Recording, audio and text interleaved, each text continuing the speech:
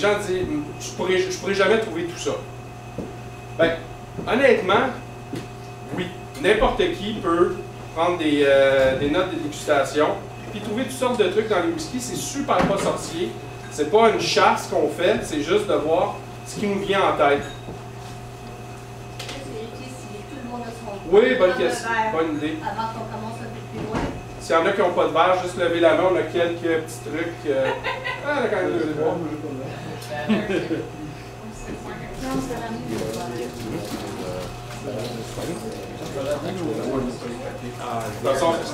on a Il y avait de noter ce qu'on trouve. Quand j'ai commencé à prendre des notes de dégustation, c'était pas du tout pour le whisky, c'était pour la bière. C'était euh, là, longtemps. Les bières de microbrasserie commençaient au Québec. Il y avait quelques importations. Mais c'était pas encore ce que c'est devenu aujourd'hui, qu'on est rendu à quoi? 3, entre 300 et 800 microbrasseries au Québec. C'était vraiment loin de ça. Puis euh, quand on s'assoyait en quelque part pour noter ce qu'on trouvait dans la bière, le monde nous regardait avec des yeux euh, grands comme des soucoupes. Mais c'est tellement important, en plus, de faire quelque chose d'intéressant, puis de se pratiquer. Parce qu'il n'y a pas 100 000 secrets, peu importe ce qu'on fait, le truc pour devenir, pour, s'habituer, c'est de pratiquer. Puis honnêtement, euh, se pratiquer à boire du whisky, si on le fait en toute modération, c'est très agréable. Je pense que ça bat euh, le magasinage de Noël, mettons. Fait évidemment, la modération. Puis, dans les dégustations comme ça, de toute façon, il va vraiment raisonnablement. Il va être des demi-onces. Fait qu'on va en parler tantôt, mais c'est rien, c'est rien pour se pacter à la fraise, c'est juste pour avoir euh, une, pour aller justement à la recherche de ces arômes-là. Puis le whisky, ou même la bière, ou même le vin, ou le chocolat, ça nous donne tellement d'arômes. euh, fait que ça vaut la peine, je pense, de s'arrêter justement, puis de voir qu'est-ce qu'on peut prendre.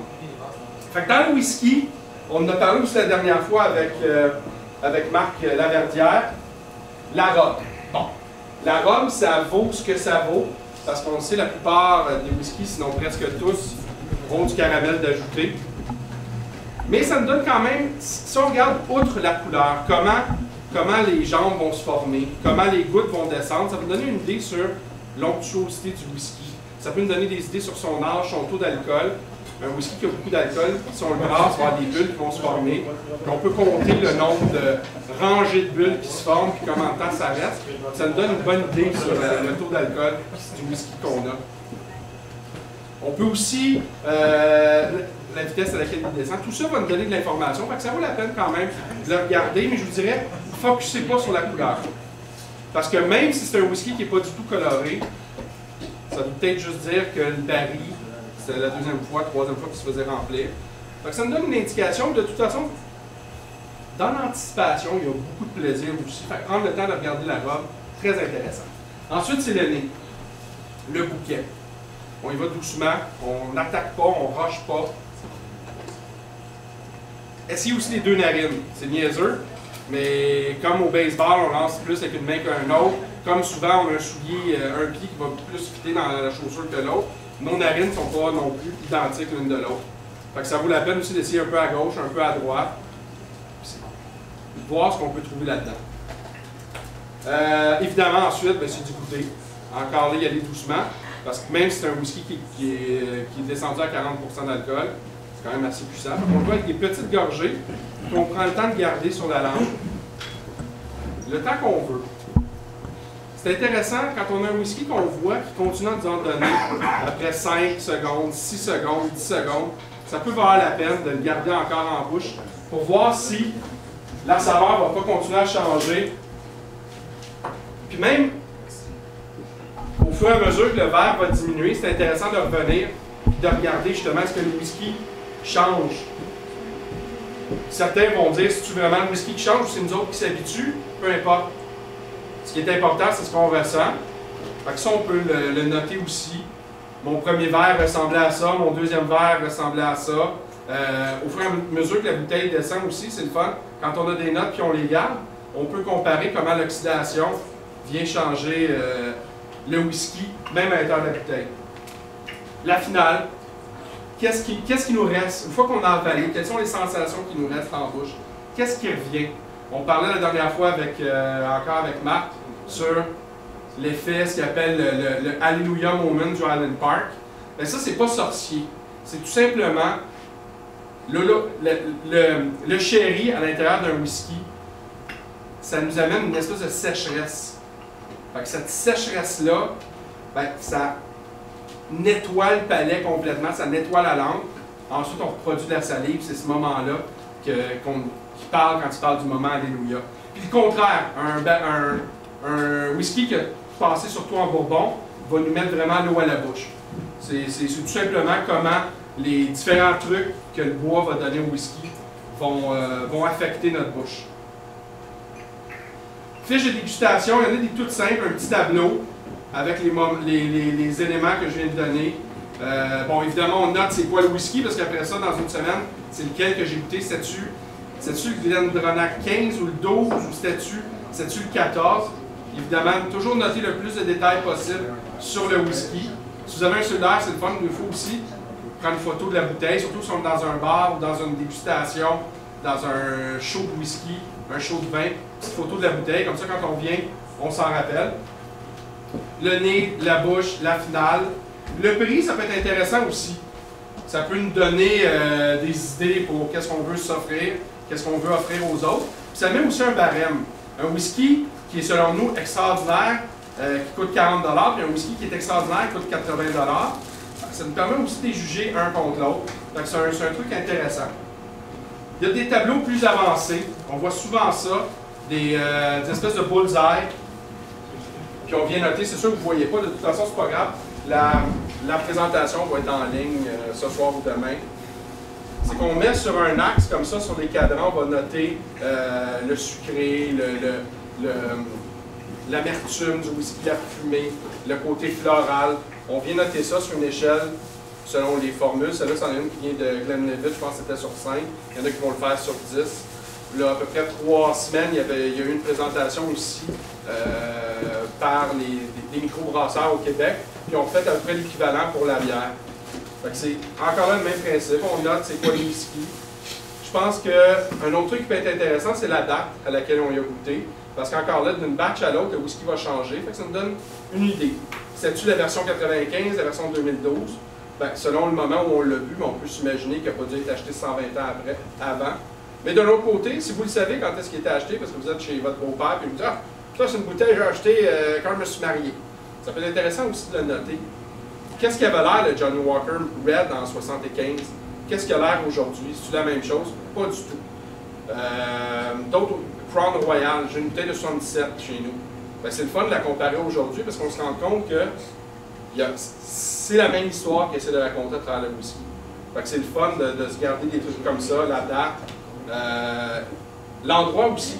Parce qu'évidemment, un whisky qu'on va prendre en très bonne compagnie, honnêtement, d'habitude, il goûte un petit peu meilleur que celui qu'on prend avec du monde qui nous font chier. ça peut être intéressant de noter ça en même temps. Cela, comme je dis, c'est Glenlivet. Il se trouve sur le site de Glenlivet. Je les, je les mets aussi en lien sur la, sur la présentation, que vous allez pouvoir le retrouver. Celle-là, c'en est une que j'ai créée. J'ai essayé d'aller vraiment aussi loin qu'on pouvait le faire. Avec même une, gradation des couleurs. Comme je dis, ça vaut ce que ça vaut, mais c'est une information supplémentaire. Comme je disais, le bullseye, qu'est-ce qu'on a trouvé dans le whisky, le floral, et, euh, la céréale, tout ça. Fait encore là, c'est quelque chose que, j'ai créé peut-être euh, un six mois, un an. Fait que ça me donne une idée. Si vous voulez l'imprimer, gênez-vous pas. Vous pouvez après ça les mettre dans un cartable. Moi, honnêtement, ce que j'utilise, c'est tout simplement un cahier. Je le garde toujours avec moi ou presque ça me permet de noter rapidement c'est quoi le whisky, c'est quoi le moment, à quelle date qu'on était, qu'est-ce que j'en ai pensé. Celui-là, c'était euh, sur le site du Stillhouse de la gang de chez euh, Redbreast Jameson. Il le donnait. On a juste à marquer notre adresse. Deux semaines plus tard, on reçoit le livre. Ça peut être tout simplement un petit moleskin, des petits livres avec l'élastique. On prend quelques notes. L'idée de base, c'est si vous l'avez avec vous autres, vous avez bien plus de chances de prendre des notes que si vous avez Ah, j'ai mon cartable chez nous, ouais, bon, ça vaut ce que ça vaut. c'est des pistes que des pistes de solutions, des idées que je vous donne. Mais comme je dis, ce qui est important, c'est de prendre le temps de s'arrêter puis de le noter. Même si c'est une napkin que vous jetez après, au moins vous étiez à ce moment-là en train de faire vraiment l'expérience complète du whisky. Est-ce qu'on doit toujours noter nos whisky? Non. Si on, est, est juste en train d'avoir du plaisir, mais des fois, c'est intéressant au moins de se prendre une petite note rapide, de prendre le temps. Puis en plus, honnêtement, quand je disais tantôt que la modération est bien meilleur goût, si on prend le temps de découvrir le whisky au fur et à mesure qu'il descend dans notre verre, ça nous force à ralentir, ça nous force aussi à profiter du moment. Puis en même temps aussi, c'est le fun de peut-être justement se payer un whisky un petit peu plus dispendieux, mais de prendre le temps de le prendre, puis d'en garder toute l'expérience possible. Ça nous permet de justifier comme ça que je viens de le payer un verre, qui m'a coûté 35$, mais j'ai vraiment, j'étais allé au bout de l'expérience, j'ai tout noté, dans trois ans, on va me dire, ah oui, je l'ai vu, puis ça valait pas le coup. Même à 35$. Parce qu'après ça, je l'ai vu à 5$, puis il me semble que à 5$, c'était meilleur. En tout cas, c'est des idées. Pour ce soir, vous avez votre napron, il n'y aura pas de grande surprise. J'en ai profité aussi pour mettre. Euh, pour mettre les paroles à l'acte. J'ai laissé de l'espace si vous voulez prendre des petites notes sur le nez, sur la, la, bouche et la finale de votre whisky. J'ai déjà mis les prix. Le code SOQ est là aussi. Euh, c'est pas de la promotion, c'est juste pour vous aider si jamais vous voulez les retrouver par la suite. C'est sur la feuille. Vous partez avec. Vos notes sont faites pour la soirée. Merci, bonsoir. Après le. Ben, on va commencer avec le Glendronach, le 12 ans original. On va continuer avec le Glengoyne, un 12 ans aussi, mais un casque strength. Donc, c'est, il est pris du baril, il l'embouteille, il rajoute pas d'eau. Ensuite, on va aller au Jura Super... Euh, non, pardon, au euh, 16 ans, celui qui a été fini en fût de Margot. Ensuite, c'est le Jura Superstition. Puis, ben, avec un peu de tour quand même. Puis on finit avec beaucoup de tour, on finit avec le Hackbeck ou Vidal. J'ai nommé la soirée Oloroso des fêtes parce que, par hasard, parce que vraiment, on avait fait une liste rapide de whisky qui nous intéressait. On l'a mis euh, en ligne, les gens ont pu voter lesquels qui les intéressaient le plus. Les whiskies qui sont sortis, tu euh, mon. Oui, merci. Les whiskies qui ont sorti ont tous par hasard euh, passé un peu, beaucoup ou euh, énormément de temps dans des barriques de sherry Oloroso ça va être un peu la, trame, la trame de la soirée. C'est sûr que certains vont avoir aussi passé du temps en Bourbon, certains vont être un assemblage de Bourbon et de Lorosso, mais ça donnait une trame, fait que ça me donnait une idée. Puis honnêtement, je trouvais que ça tombait vraiment bien, parce que souvent, euh, même pratiquement tout le temps, les whiskies qui ont passé du temps en, barrique de, de Lorosso, ça va être des, des sherry, ça va être des whiskies qui vont justement donner un peu du sherry. on va avoir du fruit sec, on va avoir euh, du gâteau aux fruits, on va avoir de la vanille, mais une vanille sombre, foncée. Fait que ça fit bien avec les petits gâteaux, euh, c'est quoi, le Lion, Optimiste, etc., qu'on se donne au temps des fêtes. Puis, encore là, ça serait peut-être plus fun de dire à ceux qui nous donnent ces gâteaux-là, ben, regarde, donne-moi là en bouteille, c'est plus fun que quand ça fait. Euh, quand est-ce qu'ils ont été faits ces gâteaux-là? On est sûr? On pourrait se construire une maison avec ça, des fois c'est hallucinant le premier, tout le monde devrait déjà l'avoir, c'est le Glendronach, le 12 ans, The Original. C'est un whisky d'une maison indépendante. Une petite animation aussi, on passe à Ah, les régions, tiens, c'est intéressant. J'ai mis sur, euh, sur la carte les différents endroits où on va se promener ce soir. Dans le Speyside, en haut à droite complètement, presque plus dans le Speyside, c'est Glendronach. Ensuite, on descend presque dans les, lowlands chez Glengoyne. On part dans les îles à gauche pour le Brooklady. Ça vient d'Aïla, mais c'est pas hyper tourbé, ou même pratiquement pas tourbé. Ensuite, on s'en va juste à côté, de l'autre côté du, euh, du euh, Sound of Isla, pour aller à Jura pour le Prophecy. Puis on retourne à Isla, mais complètement dans le sud cette fois-ci d'Aïla, pour la Ardègue à la toute fin. Les régions, encore là, ça vaut ce que ça vaut. Comme je disais, le Brook l'a dit, le whisky qui vient d'Aïla, pas tourbé.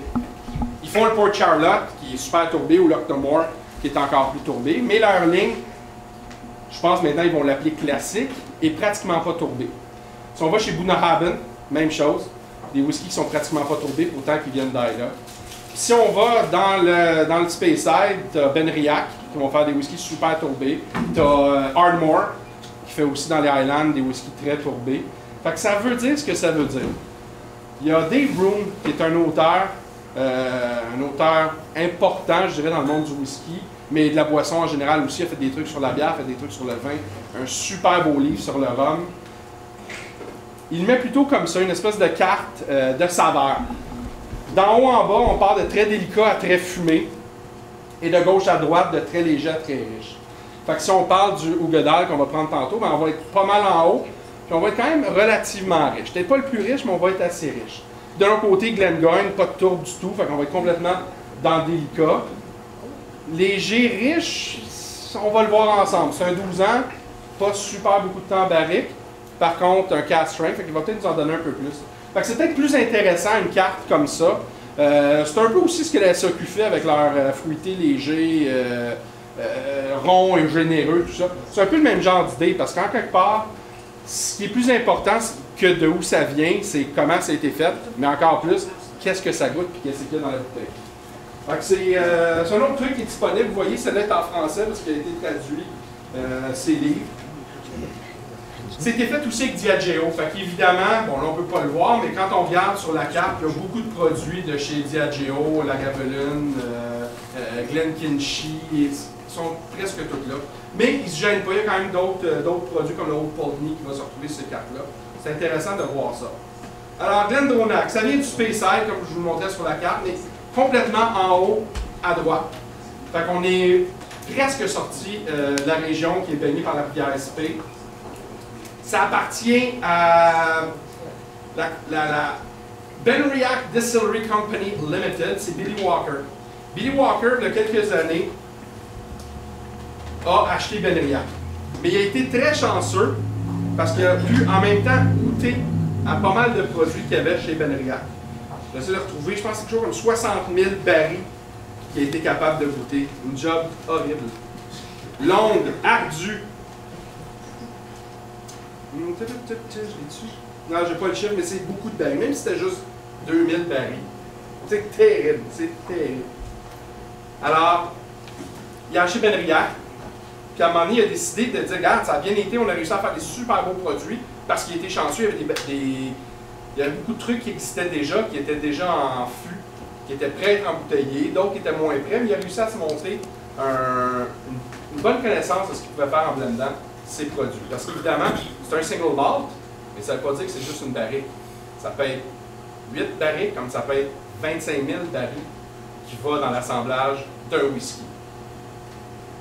Alors, Glendronach, même principe, une scierie qui était peu utilisée par les propriétaires à ce moment-là, qui était laissée pratiquement à l'abandon. Encore là, avec pas mal de whisky qui existaient déjà, qui pouvaient justement goûter. Puis quand il a acheté la distillerie, il a eu accès à ces barriques-là. Avant, Glendronach, ben, il a à peu près toujours existé en single malt, mais ça allait surtout dans les blends de Teachers. Euh, un peu comme le Hardmore, justement. Hardmore va donner la tour aux Teachers. C'était des whiskies qui rentraient comme ça dans la composition de Teachers, ce qui n'est pas un super grand blend, ce qui explique peut-être pourquoi Glendronach est un peu laissé à l'abandon. Si c'est pas un grand blend, pas parce qu'il n'est pas bon, mais il va moins bien se vendre, fait ont moins besoin de whisky. Fait que doucement, Glendronach a été laissé un peu de côté. En 2008, Billy Walker la jette de Pernod Ricard. Comme je disais, déjà pour de Benriac. C'est pas très gros, hein? Deux wash still, deux spirit still, il capable de faire 1,6 million de litres par année. C'est beaucoup 1,6 million, mais c'est vraiment minuscule. Si on pense à Glenlivet, ils sont rendus à quoi? 14, je pense? 7, 7. 7, 7, ouais, 7, 7, fait que c'est 7 fois plus gros, mais je pense qu'on est capable de produire quelque chose comme 12 fois plus de whisky, parce qu'évidemment, ils vont être capables de faire euh, des rondes de 24 heures, 3 chiffres, tandis que Glendronach, c'est encore plus petit, 1.6. Très... Une autre différence avec ces autres produits-là qui produisent plus rapidement, qui explique peut-être aussi pourquoi c'est juste 1,6 million par année.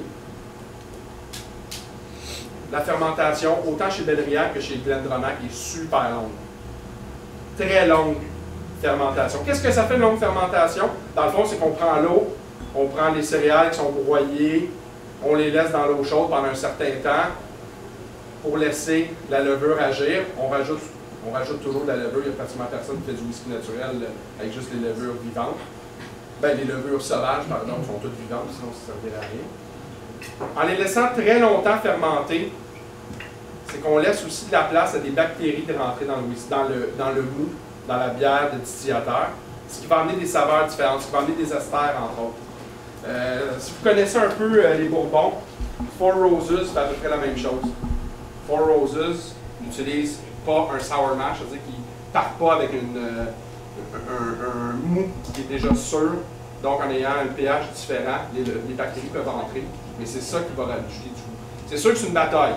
La bactérie, la levure vont se battre pour essayer de, gagner le sucre, de gagner l'air, de gagner l'eau qu'il y a dans le mou c'est la job euh, des gens chez, chez Glendronach, chez Benriac, de s'assurer que c'est les levures qui vont gagner. Puis que quand les bactéries gagnent, c'est des bonnes bactéries qui vont donner du goût et non pas, qui ne vont pas détruire le produit. Alright.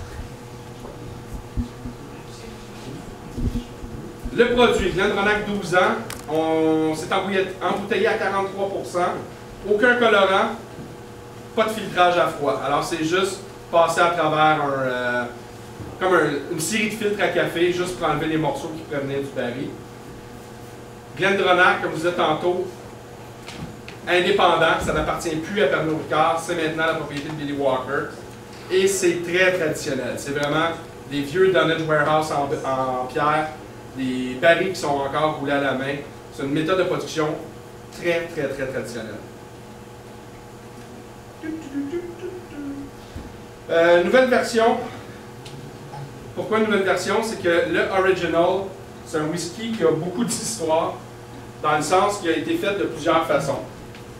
Maintenant, c'est un whisky qui est fait de, de whisky qui a été vieilli, de distillat qui a été vieilli en oloroso pour donner des notes de fruits, d'épices, comme je parlais tantôt, et aussi chez, avec des fûts qui viennent de chez Pedro Ximenez, des PX. Souvent, on voit ça. On va le voir tantôt aussi dans le.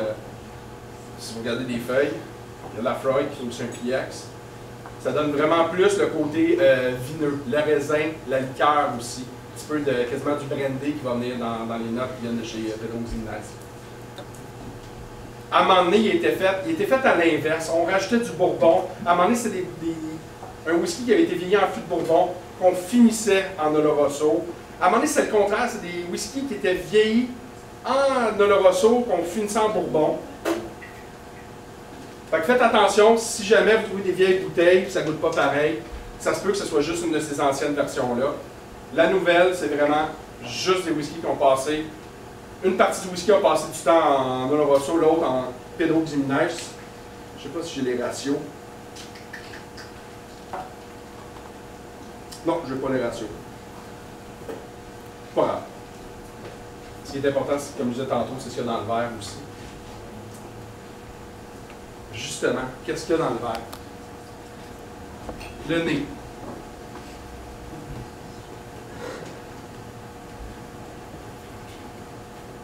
C'est assez propre, c'est assez franc. C'est pas un,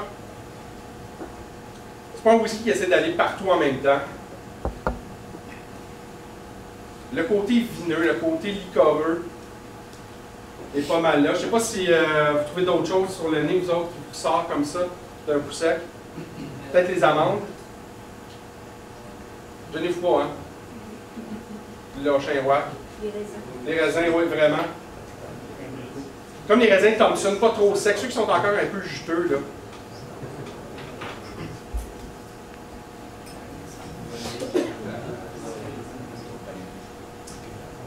C'est vraiment ça. Comme je disais tantôt, ce qui nous attaque en premier, je trouve vraiment que c'est le sherry. On, remarque tout de suite, même à la robe, si on a le temps, bon, l'éclairage n'est pas débile, si on regarde le temps, on voit qu'il y a une teinte rosée dans le, whisky. Comme je dis, ça vaut ce que ça vaut, mais on le sait, celui-là, il n'a pas été teinté par du colorant.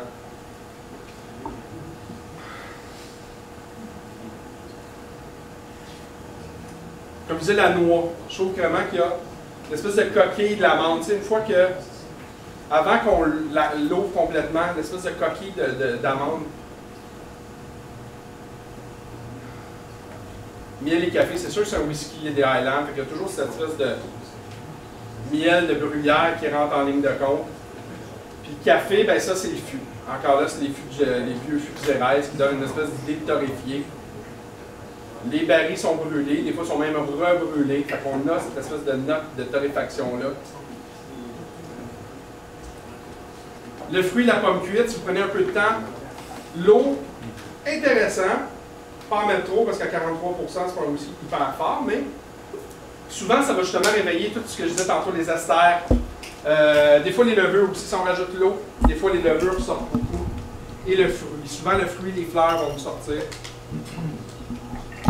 En tout cas, La pomme, c'est pas de la pomme fraîche du, du verger.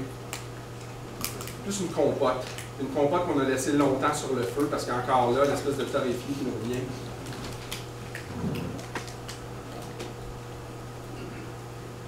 Ouais, une compote qu'on a laissé bouillir longtemps sur le feu. Oui, oui, un peu parce que le caramel, l'espèce de sucré du miel de tantôt, avec la pomme, devient tarte tatin.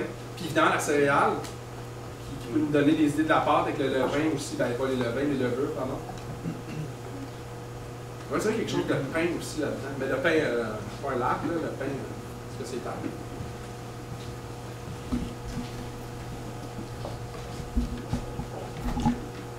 Moins d'exotisme.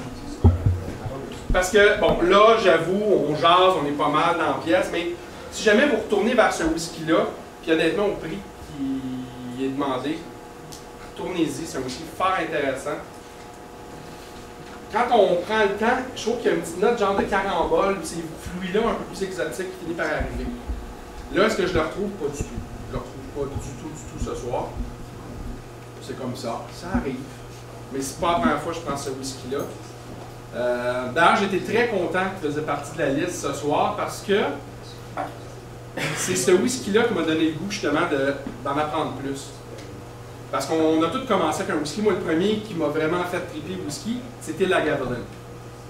Très costaud, très fumé, très euh, de wow. Puis à un moment donné, tu goûtes à ça, parce que là, une fois que tu as trouvé la Gavelin, ben, tu te promènes chez Talisker, tu te promènes chez Lafroig, Ardbeg, euh, tu restes dans le tourbé parce que c'est ça que j'aime, c'est ça que j'ai aimé.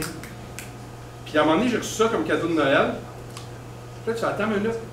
Il y a une autre version du whisky, avec les mêmes affaires, on réussit à faire ça qui est complètement d'autre chose. C'est pas. Il y a personne qui commence à dire, ah, c'est peut-être du Ardbeg, pas du tout. Fait que c'est très personnel. C'est ça aussi je connais bien, que j'aime bien. Fait que je suis très content qu'il fasse partie du code ce soir, puis j'ai pas triché.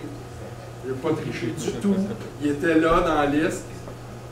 Mais je pense que pour plusieurs, encore une fois, au prix qu'il charge, je pense que c'est un bon whisky qu'on se garde dans notre cabinet de toute façon. Vous allez voir, c'est un whisky qui peut attirer les gens vers le whisky. Mais c'est aussi un whisky, comme je dis, quand on connaît ça, puis qu'on passe du temps avec, on réussit à trouver des couches différentes à chaque fois. Que je le trouve fort intéressant pour ça. Il y en a un peu pour tout le monde là-dedans. Là, on va faire le bout de la fun, on va écouter.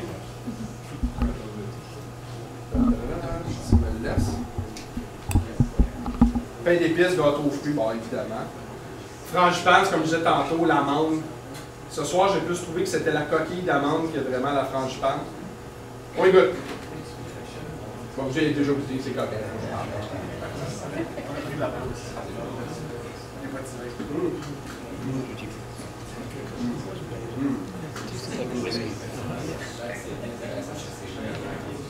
Il y a beaucoup de tanins. Hein, Quelqu'un qui connaît le vin va trouver des trucs là-dedans qu'il va, va reconnaître. Moi, j'ai le chocolat. Présentement, c'est fou, là. Une fois que le tanin est parti, c'est comme si je voulais prendre une bouchée de chocolat. C'est incroyable. Puis là, j'ai comme du, pain grillé qui apparaît. C'est plus la finale. Je vais peut-être en tricher pour le prochain slide. Fuck that. On va mettre ici. Hum. Tanin avec chocolat noir, tu vois, ça ne même pas triché. C'est vraiment ça. C'est vraiment ça que j'ai. Les épices, évidemment, encore là, on a, tout le. Surtout le côté de la langue qui vient nous rappeler C'est pas trop puissant, c'est pas un Talisker. C'est. On a ça, une petite épice, une petite cannelle, coupée du sucre. Pas mauvais.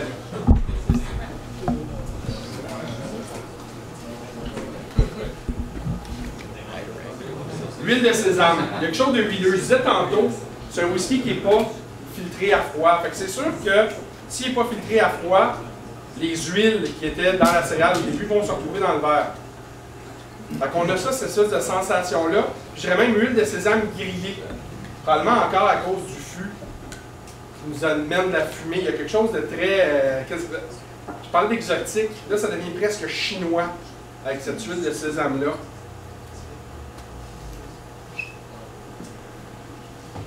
Retour sur le fruit, oui, c'est sûr qu'on perd jamais, on perd jamais l'espèce de fruit rouge. Peut-être une, euh, je parlais tantôt de, pommes compotées. Là, c'était plus de la fraise. Confiture de fraise qu'on a peut-être même un peu brûlé. Encore là, probablement avec le tanin du bois, le- la fumée. Noix de cajou réglisse. Je ne l'ai pas ce soir. Je l'ai déjà noté par le passé. Je me suis permis de le mettre.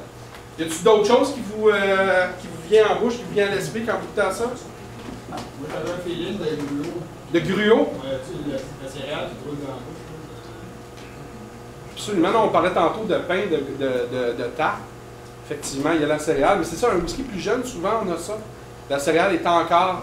Elle n'a pas eu le temps de tout se faire effacer par le bois. Elle n'est peut-être pas aussi intégrée que, que dans un whisky de, de 15, de 16, de 17 ans. Surtout en Oloroso.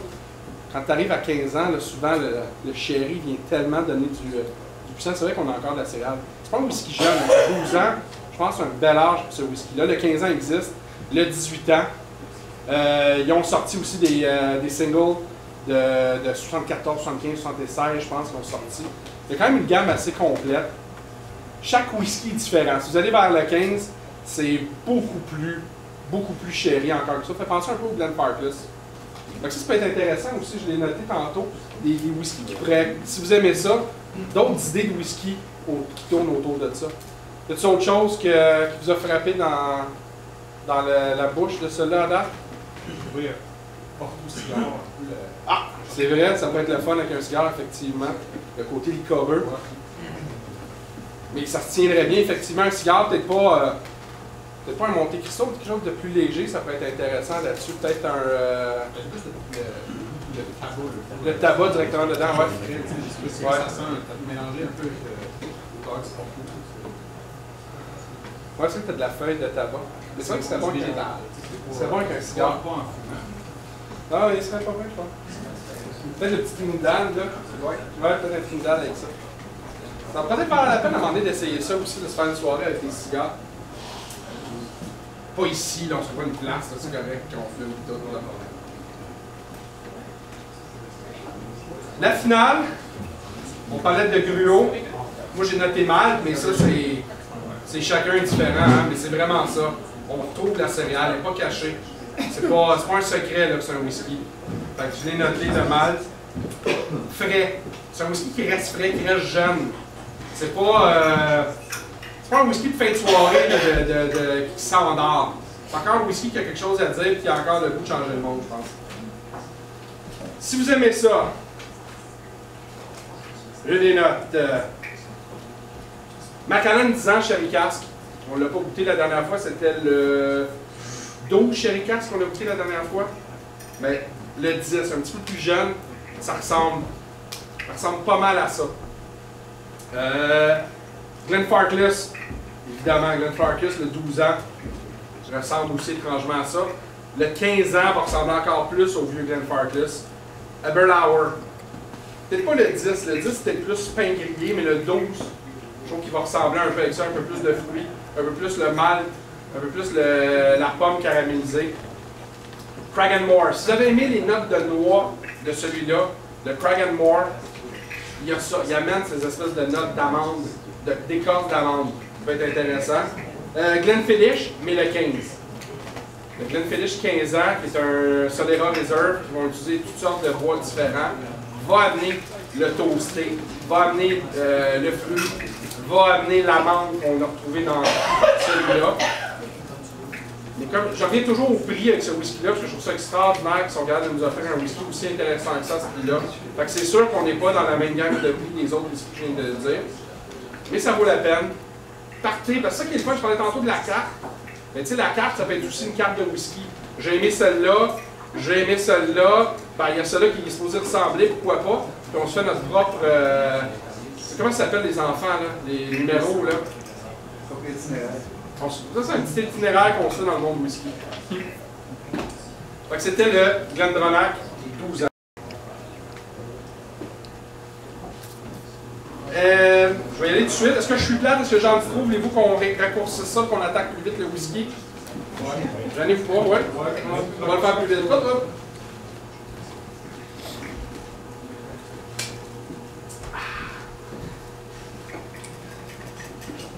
Any more left?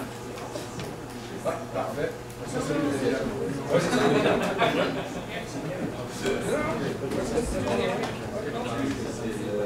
All right. Glengoyne.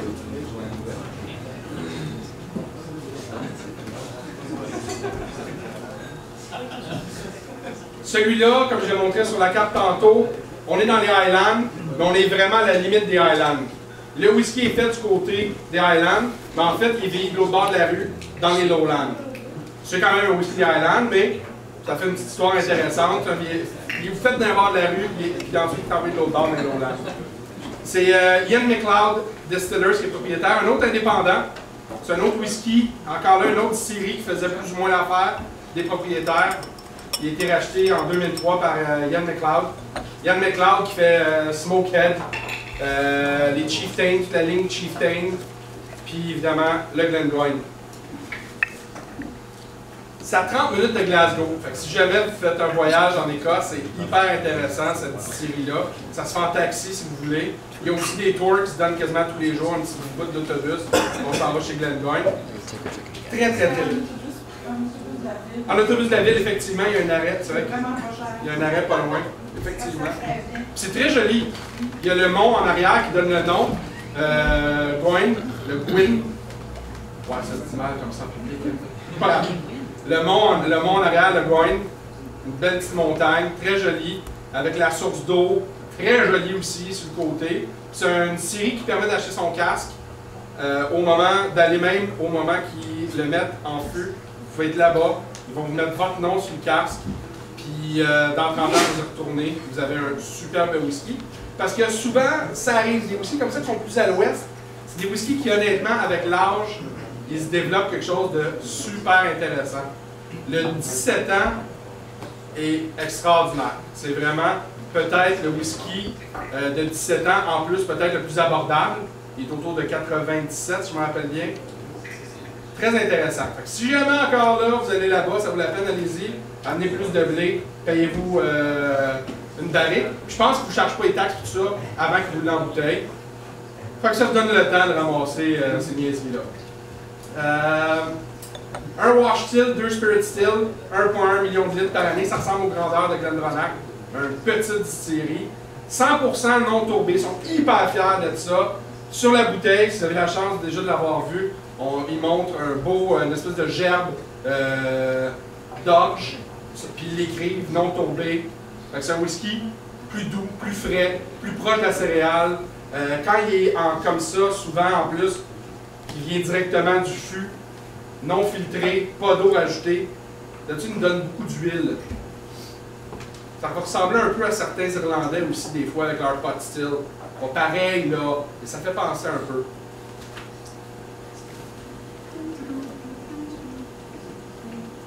Euh, le 12 ans Train, c'est peut-être une des dernières bouteilles qu'on a ce soir parce qu'ils ont déjà annoncé qu'ils s'en allaient vers un no age statement. C'est-à-dire ça vont juste l'appeler le Glengoyne Cask Train. Probablement des whiskies d'autour de 10 ans qui vont se retrouver là-dedans au lieu d'un 12 ans. Fait que, encore là, ça peut être intéressant de voir si vous l'aimez, prendre des notes, parce qu'il va changer, vous allez pouvoir comparer. Eux autres sont très ouverts dans qu'est-ce qu'ils mettent dans leur whisky.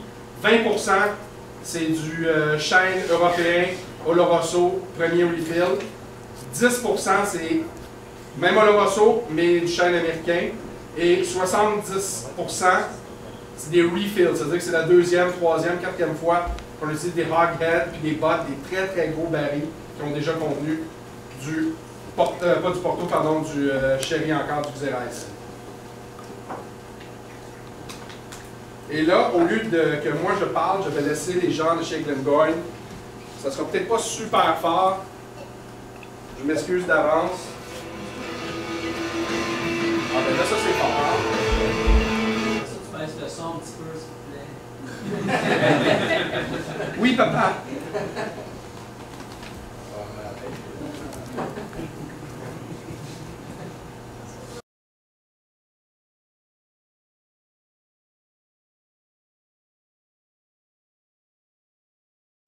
So we'll try the 12 year old. We've kept this last because obviously it's the cast strength, so that makes sense to taste it last. Yeah, and 57.2 alcohol. Yeah. So this is full strength whiskey.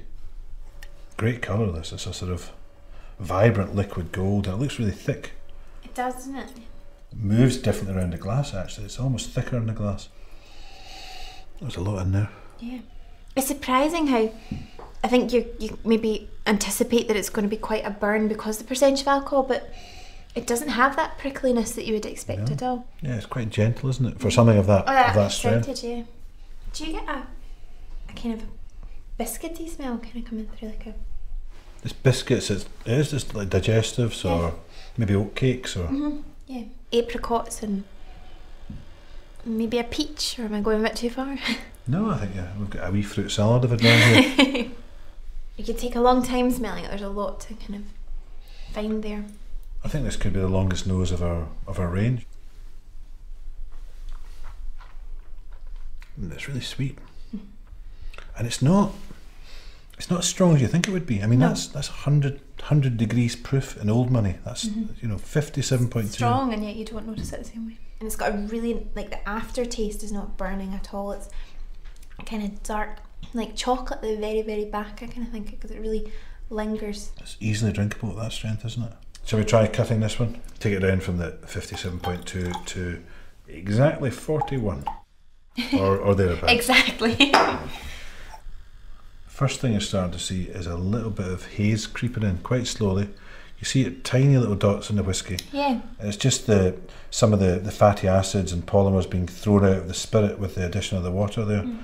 And it gives it a kind of cloudiness. And gradually, as we leave it here, if we come back in an hour's time, were it not for the fact we'll have drunk these by then, you would you would see quite a really really hazy, almost milky colour. Yeah, it's drink. definitely losing its clarity, isn't it? And that's the fact that it's not chill filtered.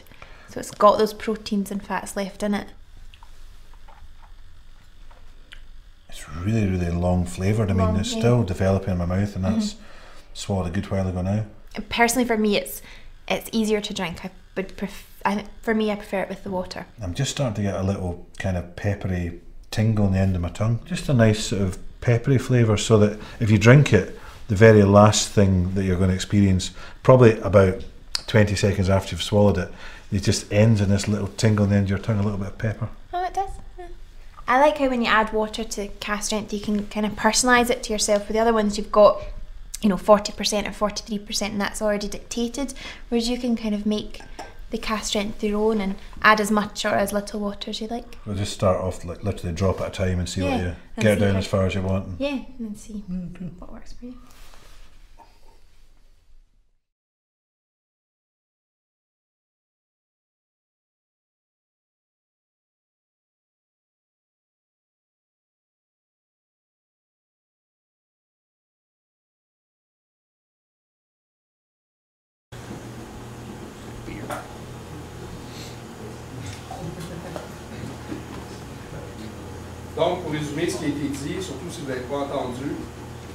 Le nez est beaucoup plus doux que le taux d'alcool pourrait nous laisser croire. C'est pas un whisky, quand on le sent, qui nous agresse. C'est pas, c'est pas, c'est pas difficile à sentir. C'est pas, pas de la térébenthine, pas du tout. Pomme et abricot, je trouve que c'est beaucoup plus l'abricot. L'abricot séché qu'on a au nez. C'est très jaune. C'est un nez très, très, très, très jaune. La céréale, l'abricot, c'est c'est des couleurs jaunes. C'est vraiment euh, incroyable. Biscuit à l'orge, définitivement. On sent encore la céréale qui est là. Biscuit à l'orge, le gruau de tantôt. Ça peut être tout ça. C'est selon, selon, dans le fond, vos références. Si vous n'avez jamais mangé de biscuit à l'orge de votre vie, vous ne pouvez jamais dire Ah, ah, ah, biscuit à l'orge. Non. Même chose, si vous n'êtes pas quelqu'un qui prend le gruau le matin, jamais vous pouvez dire gruau. Fait qu'on y va avec ce qu'on a. Le toffee aussi. C'est pas le miel de tantôt. C'est vraiment quelque chose de plus. euh, qui, a, collé un peu encore au fond. C'est un petit peu plus foncé comme, euh, comme sucre. Puis l'alcool vient juste à la fin, un peu comme du clou de girofle, juste nous geler un petit peu. C'est pas. euh, pas trop fort. Sauterne, parce qu'encore là, je trouve qu'il y a quelque chose, j'ai mis sauterne avec le point d'interrogation. Il y a quelque chose de vineux encore là-dedans, j'ai trouvé. Quand je disais jaune tantôt, euh, est-ce que c'est muscat? Est-ce que c'est sauterne? Je ne sais pas, mais il y a, je trouve qu'il y a un petit vin liquoreux. Euh, des fois, ceux-là moins, mais des fois, il y en a, je trouve que euh, on sent un peu de pourriture là-dedans, mais la pourriture noble de ces, de ces vins-là qui ont, qui ont été laissés longtemps sur la vigne. Caramel et menthe au nez, je trouve que c'est vraiment quelque chose qu'on a. Euh, caramel, bon, encore là, le sucré, le toffee, tout ça. La menthe, quelqu'un peut me dire, ah, c'est peut-être plus la sauge. Absolument. On a, une petite note végétale verte là-dedans, une fois qu'on rajoute l'eau. Euh, tantôt, je trouvais que c'était plus le fruit, la pomme euh, bouillie qui sortait. Avec cela, je trouve toujours que c'est le végétal qui, euh, ressort. Encore là, ça vient probablement des huiles qui sont laissées, qui viennent directement de la céréale. Des huiles vraiment euh, de base. Il y a quelque chose d'intéressant. Il disait aussi dans le, dans le vidéo, c'est peut-être un des nez les plus longs de la gamme de chez Glengoyne. J'aurais tendance à le croire, effectivement. C'est pas, euh, pas, un, pas un nez qui disparaît, c'est un nez qui reste avec nous. D'autres commentaires sur le nez de celui-là? Je chante bonbon. Le bonbon? Absolument. Je parlais de menthe, je parlais de toffee, là. Il y a quelque chose de, il y a quelque chose de sucré. Beaucoup plus que l'autre. L'autre est plus sur le vin, sur le fruit. Ça peut-être plus, effectivement, sur le vieux bonbon laissé dans, dans le fond du char à grand-papa, là. Le premier nez que je peux trouver, au premier nez, de ça, on a, on a le chéri qui est de torréfaction, effectivement. Ouais, comme un. Euh... Pas un feu de camp, c'est pas un feu de camp, mais. Peut-être justement une petite branche de, de, de, de menthe ou de, de, foin qu'on avait laissé doucement. euh, de foin. Ouais. Ouais, plus du foin qui brûle doucement. Effectivement. On rappelait la menthe, je, je sais pas si le courant l'air vient de l'art, mais j'ai la menthe le nez. La vieille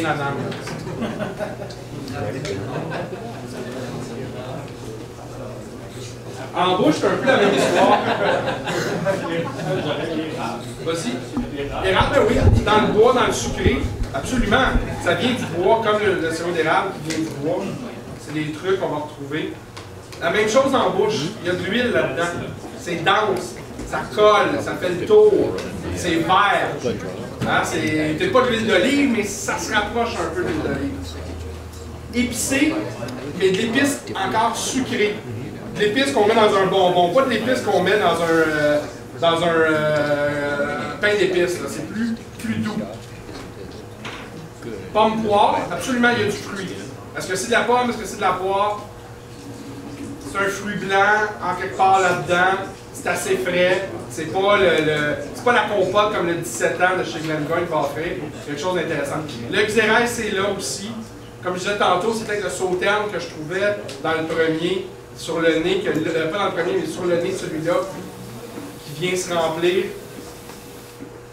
Avec de l'eau, je trouve qu'il prend beaucoup d'ampleur. Je trouve que l'eau ne vient pas du tout la- la- l'amincir. Il devient très crémeux avec de l'eau. C'est comme si l'alcool venait faire le tour de l'eau puis en profitait pour juste se promener plus. Doux. C'est très doux. Même si on met juste un peu d'eau, là, malgré son 54% d'alcool, ça reste doux comme whisky. Le café, qu'on notait tantôt, la torréfaction est définitivement là aussi. Et la finale, c'est long. Encore là, parce qu'il nous reste en bouche longtemps. Il est là longtemps. On a une petite touche de poivre blanc qui arrive à peu près euh, peut-être 30 secondes, 40 secondes, une minute après. Une petite ligne de poivre blanc, je trouve, qui apparaît au milieu de la langue. Puis encore une fois, beaucoup moins agressif. Ceux qui étaient là la dernière fois, quand on a goûté au, euh, quand on n'a pas goûté au tard la dernière fois, On avait ça aussi, je trouve, malgré la, la puissance du whisky, ça se laissait prendre assez bien. Ça se laisse voir. On a peut-être peur du taux d'alcool, puis on fait bien parce qu'il ne faut pas non plus euh, se connaître en 10 secondes, parce que ça va être le fun pour conduire après. Vous n'avez fait jamais cela. Il y en a 6 présentement en ligne, mais c'est aussi disponible dans 73 succursales au Québec. Fait que c'est pas un whisky rare à trouver. 72 et 75, encore là, côté qualité-prix pour un whisky qui est à cette force-là. Donc, si vous voulez rajouter un tiers d'eau, la moitié d'eau, c'est encore buvable. Fait que c'est un whisky nuit que vous avez pour le prix de même pas un whisky souvent.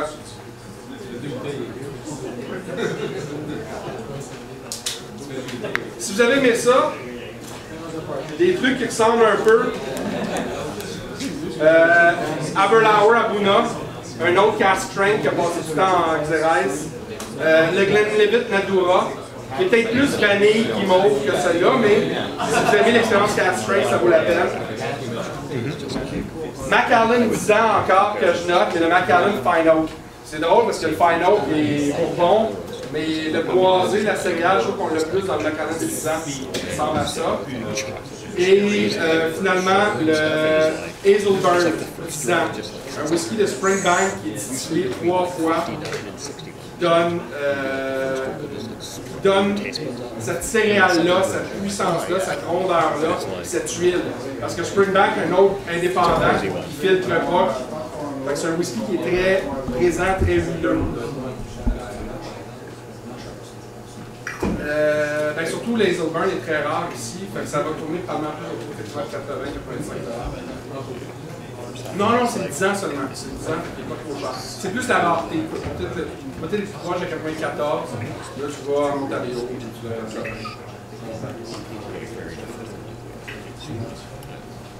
Côté temps, c'est-tu pas pire ou euh, c'est encore trop long?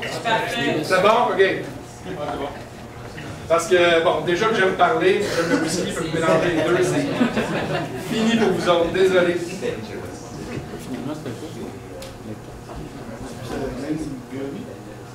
Le prochain, Brooke l'a dit.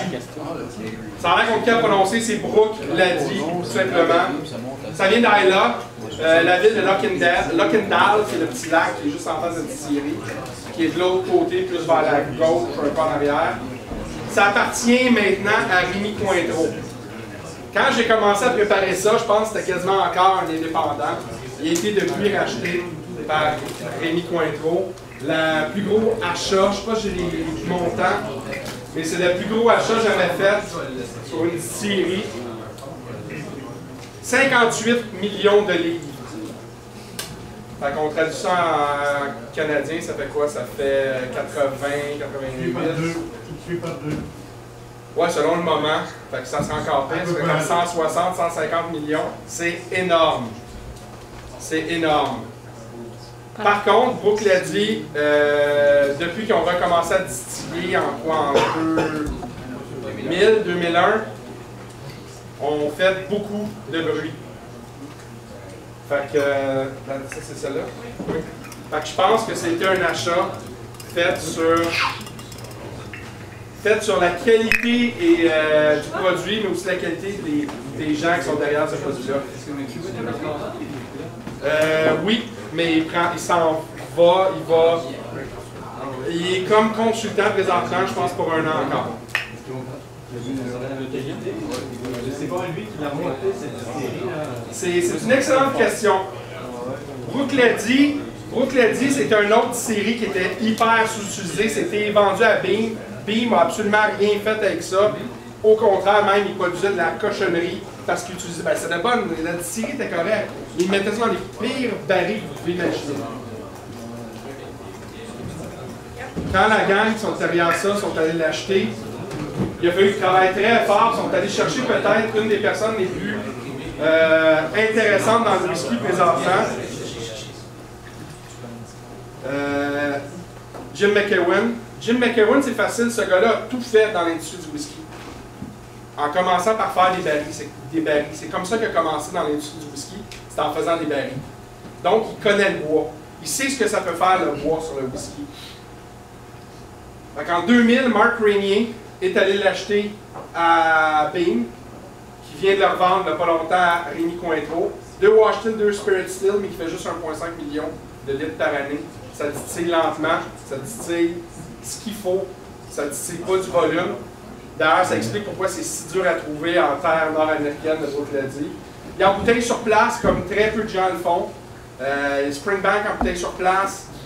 Il doit en avoir deux, trois autres, mais pas plus. C'est vraiment très peu qui en bouteille sur place. À part, vont embouteiller à Glasgow ou à Edinburgh ou dans des grands centres comme ça. Octomore. Octomore, je parlais tantôt d'un des whisky plus tournés au monde. Octomore, c'est la ferme d'où vient euh, l'eau pour faire euh, c'est là Octomore. Fait que Jim McEwen. Jim McEwen est arrivé avec des whisky qui valaient pas le cul. Fait que qu'est-ce qu'il a fait? Il a juste sa réseau dents ou l'embouteiller puis tuer la réputation de Brooklady. Il est allé faire des expérimentations à gauche, à droite. Il appelait tous les vignobles en France. Qu'est-ce que vous avez disponible? Qu'est-ce que je peux vous acheter? Euh, il allait chercher d'autres distilleries, d'autres, d'autres barils qui avaient été utilisés ailleurs, puis il mettait son distillat dedans. Distillat neuf ou du whisky déjà. Parce que certaines vieilles barriques dégueu, il remettait dans d'autres barils pour donner de la vie. C'est ça qu'on va goûter ce soir. Ils ont une gamme complète. Euh, je parlais tantôt du classique, ça c'est leur gamme qui ont commencé avec justement le Ladi classique. Euh, ils ont fait un Ladi Sherry. Le 10 ans est sorti euh, en fin d'année passée, décembre, janvier. Ils ont sorti le, le 10 ans. Le 16 ans est annoncé il pas très longtemps. Ils font Octomore, ils font du organique, ils font euh, du Bear, Bear qui est euh, B-E-R-E, qui est un vieux, vieux, vieille, vieille, vieille, vieille orge. Ils font aussi quelque chose qui est distillé quatre fois, c'est horrible. C'est dégueulasse. Euh, Goûtez-y parce que ça vaut la peine de goûter une fois dans sa vie, mais venez pas me voir après en me disant Ah, ça vaut pas le cul! Non, non, je vous le dis, c'est dégueulasse. Il est moins pire maintenant, ils l'ont descendu, je pense qu'ils vendent à 50 ou à 60% Originalement, je pense qu'ils vendaient à 72 ou 73% C'est dégueulasse. C'était horrible. Mais encore là, c'était eux autres qui essayaient. Qu'est-ce qu'on peut faire? On a plein de fûts, euh, on a plein de, de, de, de, de deux Wash Shield, deux Spirit Still. Fait que pourquoi pas essayer de faire un mix là-dedans et quatre fois. Euh, bon, Jim McEwen, un gars aussi très honnête, quand on lui demande pourquoi il a fait toutes ces sortes-là de whisky, toutes ces finitions-là, très honnêtement, il va dire c'est parce qu'on avait besoin d'argent. Parce que c'est ça une distillerie. On en parlait une fois avec Marc. Une bouteille de whisky avant que ça nous arrive, ces tablettes, c'est marqué 10 ans, mais ça prend plus que 10 ans. Parce qu'il a fallu qu'on le distille, il a fallu qu'on fasse les barils, il a fallu qu'on fasse tout ça. Fait qu'on est assis sur de l'argent pendant super longtemps. Fait que si vous avez du stock, essayez de le vendre. S'il n'est pas buvable, vendez-les pas, essayez de le finir, puis c'est ce qu'il a fait. Brooklady, comme vous pouvez voir, c'est juste sur le bord de l'eau. Fait qu'on a ce caractère côtier-là qu'on retrouve dans à peu près tous les whiskies qui ont passé du temps sur le bord de la mer. Évidemment, sur Isla, Ardbeg, la Gaveline, la Froide, ça goûte le sel. Euh, Brooklady aussi, on a ce petit iode-là, ce sel-là qui nous arrive souvent. Mais aussi sur la côte, de l'autre côté, Old Pulteney, Inchgower, c'est la chance de Inchgower, on a ce sel-là. Fait que c'est ça, je dirais, si on avait à me demander c'est quoi la spécificité de Brooklady, c'est Jim McEwen, puis le whisky côtier. Comme je disais tantôt, Jim McEwen va s'en aller. Il est déjà plus, là, il était comme maître tout là-bas. Déjà, il commence comme consultant. Est-ce qu'il va rester là comme consultant pendant 20 ans? Ça se peut. Est-ce que le produit va devenir moins bon? Je pense pas. Je pense pas. Si vous regardez un peu ce qui se fait au Québec avec les cidres de glace, c'est euh, Philippe Bartonneuf qui avait tout fait dans les cidres de glace qui ont de la qualité, face cachée de la pomme, pinacle, ce qu'il fait chez eux au Clos Saragna. Mais maintenant, il n'est plus au Clos Saint-Denis, au Clos euh, à face cachée de la pomme, et pourtant, ces produits-là continuent à faire des merveilles. Pourquoi? Parce qu'on apprend de ces gens-là. Quelqu'un qui a passé 10-12 ans chez vous, il vous a donné une façon de faire, il vous a montré la voie. Fait que je pense pas que Jim McEwen, en partant, va détruire Brooklady. Et honnêtement, je pense que c'est une bonne chose que ce soit Rémi Pointreau, mais c'est hyper... C'est parce que j'en veux. J'ai eu la chance d'en goûter plusieurs de leurs produits, mais c'est super compliqué. Fait honnêtement, Rémi Cointreau est bien distribué au Québec. Fait selon moi, ça va juste être bon parce que je vais pouvoir finalement mettre la main dessus sans avoir à faire des bassesses à gauche et à droite. J'ai goûté récemment au 10 ans, c'est super. C'est probablement le whisky le plus intéressant qui est sorti depuis longtemps d'Écosse. Euh, pourquoi? parce qu'il goûte ce qu'un whisky doit goûter. C'est pas un whisky qui a 56 000 artifices, c'est pas un whisky qui est plein de marketing, malgré le fait que vous l'a dit, euh, ils essayent d'en faire beaucoup et ils en ont réussi. Mais c'est hyper intéressant. Si vous mettez la main sur le 10 ans, euh, le classique aussi qui est de temps en temps, qui apparaît en, épicerie, en, en qui n'est pas trop cher, ça aussi ça vaut la peine. Mais je vous dirais que le 10 ans est comme le, le classique euh, mis à 11 là, sur le Spinal Tap Meter. J'ai encore une petite vidéo, c'est Jim McElwain qui va justement parler du, euh, de celui-là qu'on a dans notre main. Le Margot, Margot 20 classique, c'est un de ceux qui faisaient partie des premiers crus, classés par Napoléon III en 1855. Château Lafitte Rothschild, Château Latour, Aubryon. S'il y en a qui disent qu'il en manque un, lequel? Oui. Pourquoi il n'est pas sur la liste? Il été rajouté en 73. Il était deuxième cru en 1855. Il été mis premier cru en 73. C'est pour ça qu'il n'est pas sur la liste. C'est juste pour le fun. Fait Château Margaux, un vin, un très grand vin qui fait partie de l'espèce de sainte trinité euh, des vins français. Alors quand Jim McEwan a réussi à avoir un baril de ça, il n'a pas pu faire autre chose que mettre du tissia dedans. Puis on va l'entendre justement parler de ce whisky-là. Et c'est intéressant. Toujours, ce gars-là, il en dit beaucoup. Mais. Euh, ah! Voilà, la vidéo arrive.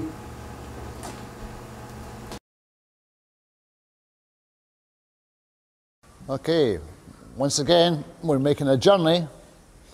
The 16 year old you tried a few moments ago was 100% bourbon. It might interest you to know that each year from America, the Scotch whisky industry imports 1 million barrels. Can you imagine what this industry would do if we didn't have American oak? We would simply would die. We are so reliant upon the American distiller for giving us that great oak. He only uses a barrel once and then he has to sell it and we buy it. And right now, the price of barrels in America is, they're up at about $100 a barrel. Uh, it's the most expensive I can remember. Uh, but certainly worth it. Certainly, an American barrel would last you about 60 years easy. Uh, so great. Here we are. This is the 16 year old. We call this the first Grow series. What we've done is we've taken the 16 year old and put it into the best French first grows Chateau Latour, Chateau Aubryon, Le Pomerol, Chateau Yquem, all the great chateaus, the first grows of France. We love French wine casks, we love any wine cask. If it has a title like this, you see here, see? Chateau Margaux. Needs no explanation. This is first class greatest wine in the world, and we've got the casks. So what I'm doing, I'm taking the 16-year-old bourbon, putting into these French first grows. Depending on the weather conditions, as I say, in the summertime, you get the transfer of fruit and colour very, very quickly. Uh, that can happen in about six months. In the wintertime, it takes longer. But look at the colour, isn't that beautiful? It's just stunning. You can actually taste the sweetness of the fruit. Great. Oh my God, this is this is a sexy whiskey, you understand? You hear all these boring words, oh, it's strong and muscular. Well, shit, this is not strong and muscular. This is absolutely sexy. I mean, this is rock and roll. It's beautiful. Far too sophisticated for most people. I'm just touching this with the water. Just touching. Just embracing it. Mix that up. Oh, it's superb. On this one, like the 16 year before, you've got the beautiful oak sweetness, the Bruichladdich fruitiness, the coastal influence. It's handmade, handcrafted, the whole thing. You take all that, so you get this beautiful, strong islander, and suddenly the strong islander meets this gorgeous French woman, and something happens, and they get it on. And it's a fantastic union. I mean, he, she's totally uh, wipes them out, and they go together. It's just a love story. It's just beautiful, beautiful stuff. So this is a guy from Isla, never been off, never seen anything in his life, meets this French beauty, falls in love with her, can't believe his luck, and the rest is history. On the taste, it's just beautiful. On the front palate, Wow. It's almost like rose petal soft. It's like falling rose petal. It just falls on there. Licking the lips is just like, it's like a strawberry kiss. It's just amazing stuff. Turkish Delight, Red Cherry, superb. This is late in the evening when you're sitting alone or sitting with somebody who you love. This is a real romantic single malt. Sexy and exciting. Can you believe that from Isla? A sexy whiskey from Isla? Not really, but now you've got it. Stunning. Bruichladdich and Chateau Margaux. And there's a whole other five to try as well. Really, really good. If you think I got it right, send me an email. if you think it's sexy, you think it's cool, and you agree with me, if you think I'm talking a lot of nonsense, send me an email anyway. Get in touch. This is beautiful. Valentine's Day. What the hell are you going to do on Valentine's Day? This is the one. This is the one you've got to have. Uh, your girlfriend, if it's, I know a lot of women watch this show, but say, ah, girls don't like whiskey. Wrong, wrong, wrong. Girls would love this. They love the elegance, the sophistication, the beauty, and most of all, the taste. And pretty cool packaging as well. Girls, this one is for you. Absolutely for you. Let the guys do the peat, you do the smooth stuff. Have fun.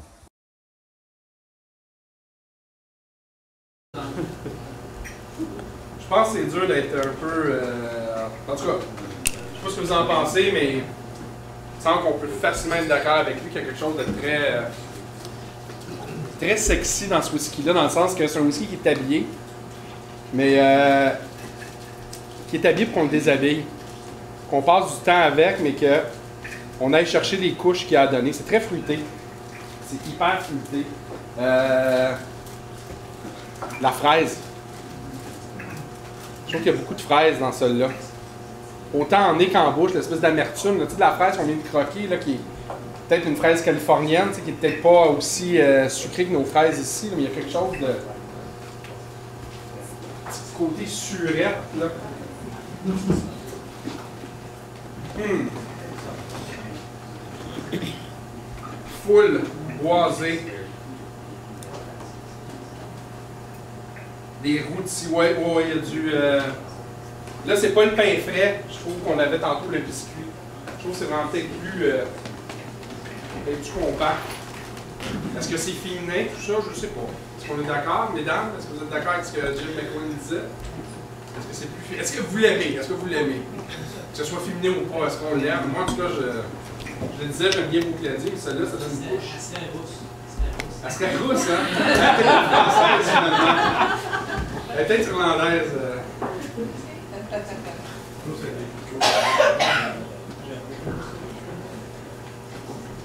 Mais c'est. Quand on pense à ça, c'est des, vieux barils de Bourbon usés, usés à l'os. Il parlait de 60 ans sur certains barils qu'on peut durer.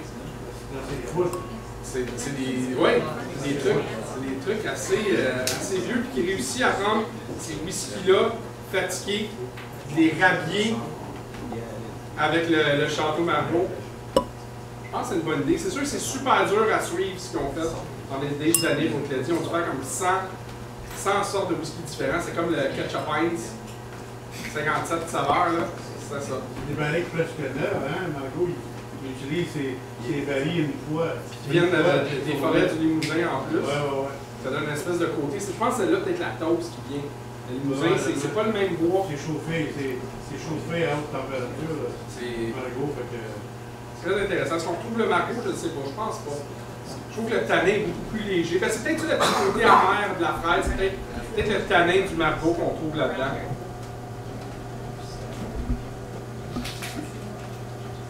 Commentaire sur ce whisky-là?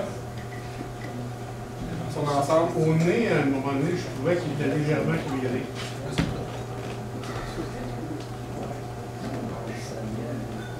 Il y a quelque chose de, ouais, il y a quelque chose de peut-être vieux, de peut-être euh, magané dedans qu'on pourrait voir comme du métallique. Non, mais de cuivre, pas de Ah, de, cuivre. cu- ah, de cuivre. Pas de cuivre, de cuivre. Excusez, je suis loin. Animal, le côté animal. Le côté animal? Oui, oui, peut-être plus animal. Oui, comme euh, certains vins, des fois, que le côté renard un peu. Oui, là, je suis d'accord. Oui, c'est plus le cuir que le tabac de tantôt, mais il y a quelque chose d'un peu humide, ouais.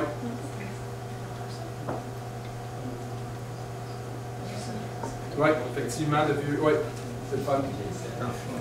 D'autres choses sur ce whisky-là? Encore là, pour un 16 ans, pour un whisky qui a passé du temps dans des euh, barriques un peu spéciales, le prix est relativement, je dis bien relativement raisonnable.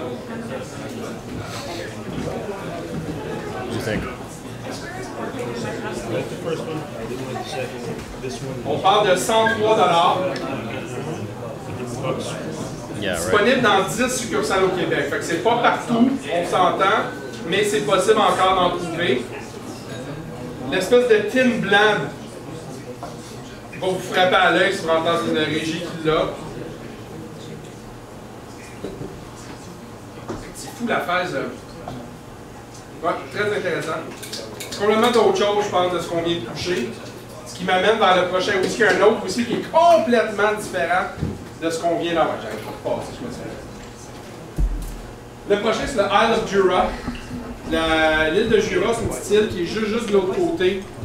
On pourrait nager facilement entre euh, Isla et Jura. La seule chose, il faut faire attention au Corrivrecam.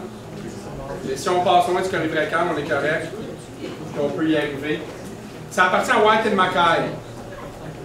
White and Mackay qui appartient à euh, United Breweries, euh, United Beverage, en tout cas UB Group, qui appartient à Kingfisher, qui appartient à VJ Malia. J'en parle parce que présentement c'est à vente, si vous avez moyen, il y a moyen d'acheter des distilleries de chez White Mackay. Diageo a déjà euh, pledgé, je pense que c'est 27% des parts qui veulent aller acheter. C'est sûr que le gouvernement anglais comme le gouvernement canadien va se mettre le nez là-dedans pour voir comment ça va se faire. Euh, plusieurs aussi ont annoncé dans les derniers jours que peut-être que euh, des groupes français comme, euh, ou italiens comme Campari, Campari pourrait être intéressé à aller chercher certaines distilleries de la gamme. Ils ont déjà Glen, euh, Glen Grant appartient déjà à Campari, ça pourrait peut-être être intéressant qu'ils aillent chercher des morceaux de chez White and Mackay pour empêcher Diageo d'avoir un espèce de monopole complet dans les blends. White and Mackay, d'ailleurs, c'est très connu pour leur blend, qui valent ce qu'ils valent. Des whiskies très sucrés, euh, très euh, exubérants. Pas, euh, pas mes préférés. Par contre, dans les single malts, ils ont des produits intéressants. Dalmore, Jura, euh, ben Jura, je ne l'ai pas encore. Euh, Dalmore, Jura, euh, c'est quoi l'autre? Tomatine, je pense. Non, Tom Linto, un des deux. C'est plusieurs produits intéressants. Le Jura d'aujourd'hui, c'est le Prophecy. C'est leur whisky le plus tourbé.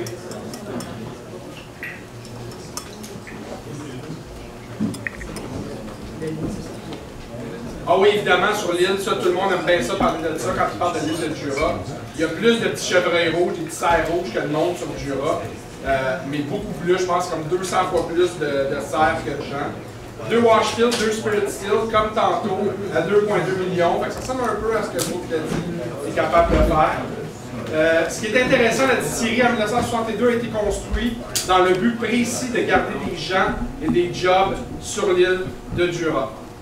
C'est, c'est pas juste faire de l'argent au début même devait, ça devait en arracher, mais c'était dans, un but vraiment. C'est un peu ce que Ian McLeod est en train d'essayer de faire présentement sur l'île de Skye, pour construire une deuxième distillerie pour euh, compétitionner entre guillemets Talisker. Alors, Isle of Jura, prophétie, 35 parties par million, non filtré à froid. Fait qu'encore un autre whisky qui est assez proche de la nature. Il a été rajouté avec de l'eau, euh, probablement coloré, parce que chez White Macker, on a tendance à colorer. Surtout si vous le regardez, il est un peu euh, orange métallique, qu'il est probablement coloré. Embouteillé à 46 fait que c'est vraiment la réponse de White Mackay aux produits artisans qu'on a goûté avant. Vas-y. Qu'est-ce que tu faisais par 35 ppm? Euh, oh, allons-y. Très bonne question. 35 ppm. Comment on calcule euh, la tourbe dans le whisky? C'est à peu près impossible parce qu'on rajoute pas, on rajoute pas de la tourbe dans le whisky. C'est la tourbe qu'on fait sécher les grains. On fait sécher le grain parce que le grain, pour faire le mal, c'est super facile. On fait croire au grain qu'on est au printemps. On le mouille deux, trois fois, après on le fait sécher pour arrêter la croissance du grain pour que juste un petit peu de la- d'acrospire se forme et que euh, tout euh, le starch soit transformé en sucre, ou presque. Quand on sèche sur de la tourbe, la tourbe libère évidemment euh, toutes sortes de trucs, des sels, des, des huiles encore en combustion, des, des longues molécules qui vont donner beaucoup de goût. Le phénol, c'est ça qu'on compte à 35 parties par million. C'est la quantité de phénol qu'on retrouve dans le grain quand il est livré à la distillerie. Pour vous donner une idée, 35 parties par million, c'est à peu près exactement ce que la Garoline et Coolila ont comme euh, taux de tour. Vous allez dire, pourtant, Coolila est beaucoup plus doux que la Garoline. Mais à la base, le malt tourbé est à peu près égal à 35 parties par million. Fait que c'est ça, vous allez souvent voir ça. Quand on regarde les Octomore qui sont à 80, 90, il y en a qui essaient de le passer 167 parties par million.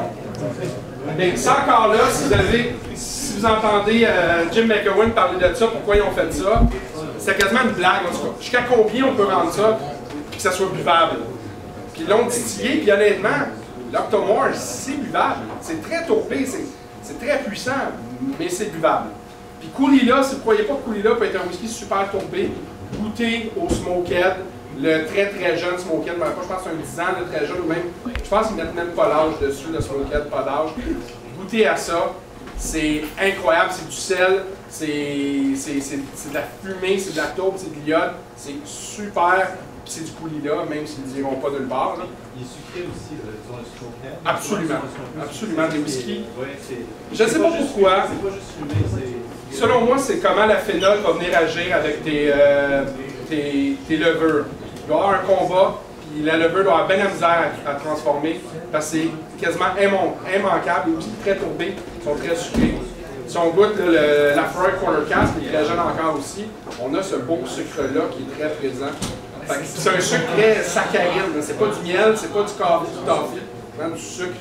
Fait que je pense que c'est ça. Je pense que c'est un combat que la levure a de la misère à gagner, contre, le, contre le, phénol. Encore une fois, une petite vidéo. Euh, si vous ne connaissez pas Richard Patterson, vous allez le connaître. Quand je disais que les White and Mackay, les whisky sont très exubérants, très ronds, très sucrés, ça va vous donner une idée avec ce personnage-là.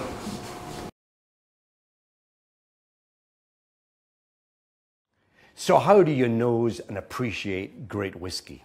First of all, you need to have the right glass. This is so, so important. This is, of course, the Capita nosing glass. So, you need to make sure that the whiskey goes in the glass, swill it around, get rid of it, because the glass has to be clean. Then you go back to it. Now, pay attention. This is the way you hold it, not this way. Definitely not warming it this way. But if I ever see you nosing it, nosing it like this, I'll kill you. So, first of all, what I want you to do, swirl the whiskey around. Take it up and say, hello. Then you go back to it and say, how are you? Do it slowly. Then you come back and say, quite well, thank you very much. So then, how do you taste it? Well, you can drink it straight if you want, but you must be careful. Sometimes, if you're not too sure, just take a little still water, cool still water. Little drop into the glass, not too much. But more importantly, when you take the whiskey, you must appreciate it. Mm. Mm,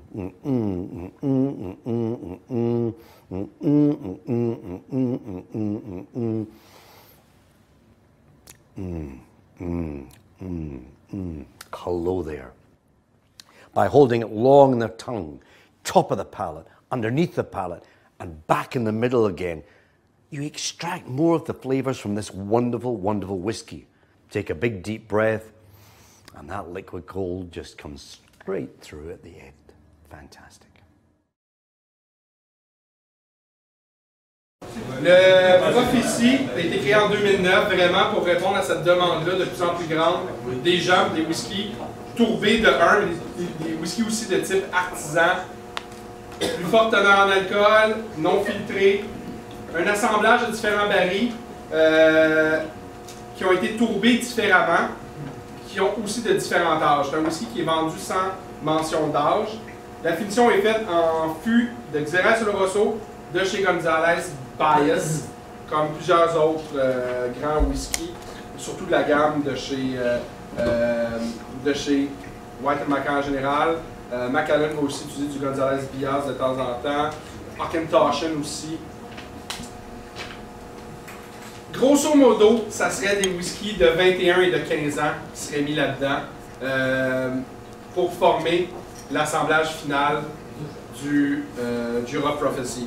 Jura Prophecy, ça vaut la peine, on en parle rapidement. L'œil sur la bouteille, parce que ça a été dit, il y a une sorcière qui aurait dit, qui s'était fait sortir de ses terres, fait qu'elle était en tabarnak. Puis elle a dit au Campbell, qui l'a sorti de ses terres, elle dit, garde, le dernier de ta famille va sortir de l'île avec toutes ses affaires dans une, dans un, euh, dans une carriole tirée par un cheval, puis il va avoir juste un œil. Fait que juste un œil, sa bouteille, ça vient de là. Puis effectivement, euh, la madame a eu finalement raison. Le dernier des Campbell qui a quitté l'île de Jura euh, a été blessé pendant la guerre, puis il est parti effectivement, il avait juste un œil, puis il y avait un cheval blanc qui tirait sa carriole, parce que tu sais, un char sur le Jura, euh, ça gaspille de l'essence, c'est à peu près toute la grosseur de l'île. Euh, c'est un whisky qui est très différent. C'est une tourbe, c'est pas la même tourbe, c'est une tourbe locale. C'est pas la même tourbe que la Gavilan, c'est pas la même tourbe que Ardmore. Je trouve que c'est une tourbe qui va peut-être plus ressembler à ce que Connemara, euh, fait avec le Connemara. C'est très, euh, très vert comme tourbe. Connemara, je sais pas si vous avez eu la chance d'écouter, c'est quasiment des pinettes comme tourbe. C'est, pratiquement ça. Nous autres, en tout cas, eux autres, ils ne trouvent peut-être pas, mais moi, je trouve qu'avec mon, mon nez de Québécois, je trouve que ça sent l'épinette, ça goûte la bière l'épinette un petit peu aussi, le Connemara. Celui-là, je le trouve aussi très vert. Peut-être plus, peut-être plus herbeux qu'épinette, mais il y a quelque chose, en tout cas. C'est plus chimique. Oui, mais c'est sûr. Le. C'est certain. On parlait tantôt du phénol. Euh, C'est certain que les, les, les iodes vont se retrouver là-dedans. Puis l'iode, l'iode, on le retrouve dans les band-aids, on le retrouve dans évidemment le mercurochrome, puis l'iode, tous ces produits-là. Fait que c'est effectivement, c'est les savons et certains savons aussi qui vont utiliser des iodes. Mais si vous voulez vraiment un qui sent le band-aid, le Ardmore, c'est fou. Là, ça sent vraiment le, comment ça s'appelle? Élastoplast. Pas band-aid, l'élastoplast, le, le, le brun, là. Celui qu'on. c'est fou, là. C'est fou. Non, mais j'en ai porté en sacrément.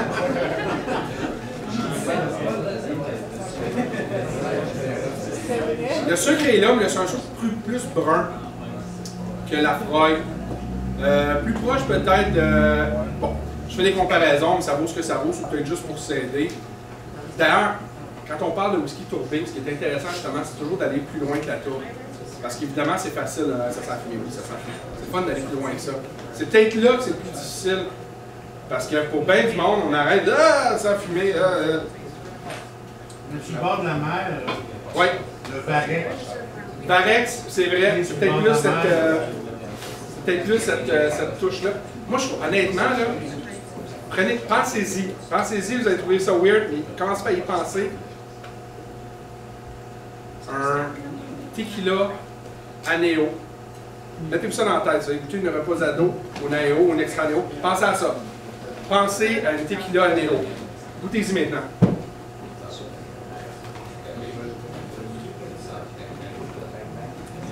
Une fois qu'on y pense, en tout cas, je trouve que c'est là. C'est sûr que c'est une agave fumée, là. C'est pas, euh, pas de l'agave euh, nécessairement mexicaine, mais il y a quelque chose là-dedans qui me fait tellement penser à une reposado ou une anéo, là. C'est, fou. C'est peut-être là le, le le vert. C'est pas de l'agave, mais c'est une autre plante assez grasse, le varech. C'est peut-être là. C'est peut-être là. Mais il y a quelque chose de. Quelque chose d'une tequila, d'une bonne tequila, là, pas la bang bang euh, avec du 7-Up, là, une vraie bonne. Quelque chose de vieux, là. Une patronne de, de 15-20 ans. Mais c'est sûr que c'est médical. Boisé aussi, il y a une charpente là-dedans, en plein milieu, très boisé. Au début, au, nez, c'est le boisé qui arrive en premier, mais en bouche, il vient pas le boisé? Il est comme d'autres. Avec un peu d'eau, il arrive plus, je dirais. C'est ça, je l'ai mis avec un peu d'eau. Là, c'est plus de chimie. Ah oui, c'est chimique, ah oui, c'est C'est chimique. ça, c'est ça qui prenait toute la place. C'est c'est même, je dirais même que c'est. Vous avez fait faire votre toit il n'y a pas longtemps, il y a du goudron là-dedans. Là. Là. Oh oui, c'est plus tranquille, hein? C'est beaucoup plus tranquille que la fête, ça va. Mais, ça donne une idée. Puis, quelque chose qui va ressembler à ça, je parlais tantôt du Connemara, ça ressemble quelque chose de semblable.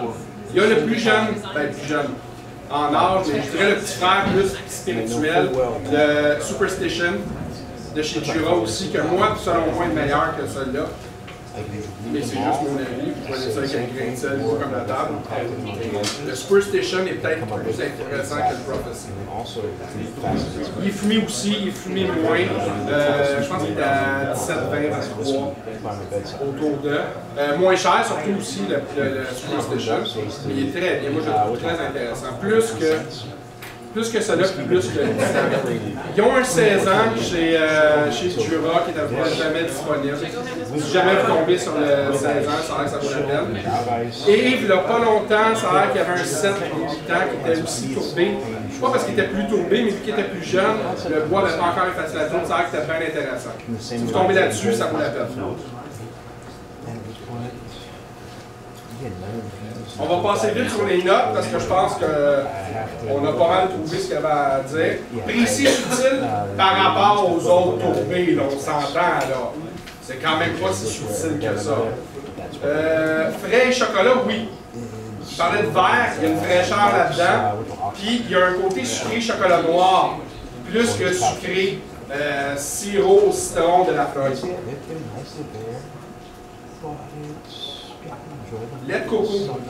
Je sais pas si il y a quelque chose là, de, encore là de végétal. Il y a quelque chose de lait de coco là-dedans. Miel, mais sarrasin. C'est pas un miel là, propre, propre, propre, blond, blond, blond. là. C'est un miel brun. C'est un miel qui est plus tard dans l'année. Fruits noirs, ben là, prenez votre choix.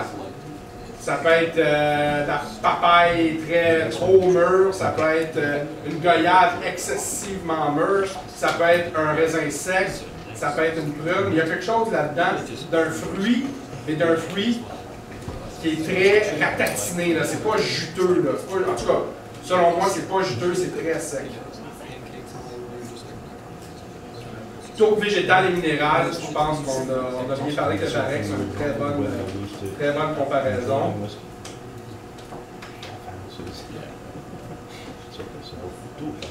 Le sherry, peut-être plus dans la praline, mais encore là, c'est une praline pas trop sucrée, c'est plus le, l'amande que la praline. Et je notais, comme je disais, la tequila, reposado, anéo, il y a quelque chose de très végétal, de très vert, mais en même temps un petit peu plus euh, sec.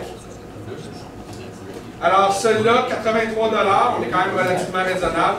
Seulement 26, la dernière fois que j'ai vérifié à la succursale de Montréal, ça vous intéresse? Attendez pas trop, parce que Noël s'en vient, fait qu'il n'y en aura plus. Euh, je ne sais pas s'il y a d'autres whisky que j'ai notés qui pourraient ressembler, si jamais ça vous intéresse. Ah oui, Ameraude Fusion. Si vous avez la chance de goûter l'Ameraude Fusion, a cette espèce de tourbe euh, verte et végétale. Beaucoup plus fort, c'est un whisky presque cast strength, là, l'Ameraude Fusion. Mais il y a quelque chose qui ressemble un peu. Je dirais plus euh, mélasse que praline qu'on a eu ici.